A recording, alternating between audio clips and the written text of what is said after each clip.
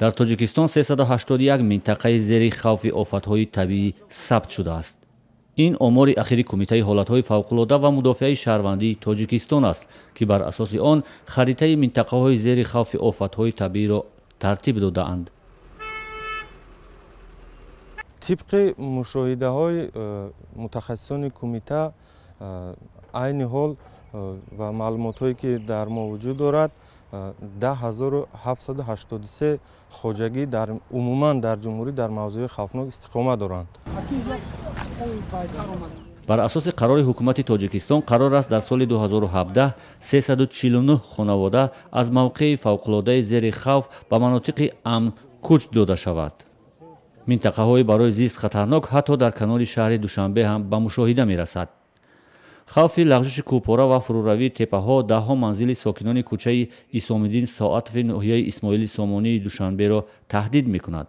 Аммо аксари сокиноне ки дар чанд соли ахир дар минтақаи зери хавф манзил бунёд кардаанд он маҳалро тарк карданӣ нестанд.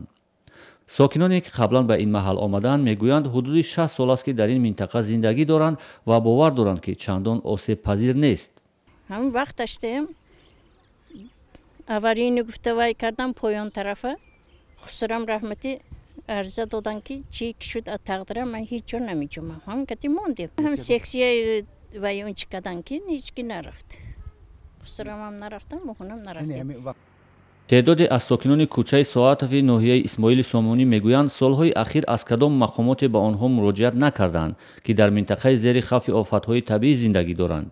Бунёди манзилҳо дар мавзеъҳои махуфтарин ин маҳал идома дорад аммо мақомоти маҳаллӣ мегӯянд аз чанд идора. Аз ҷумла кумитаи ҳолатҳои фавқулода ба онҳо огоҳӣ доданд ки манзилашон зери хавфи офатҳои табиӣ қарор дорад аз прокуратураи ноҳия чандин бор омада буда огоҳ карданд ки ҷои ҳамин минтақае ки шумо зиндагӣ мекунед хатарнок мебошад.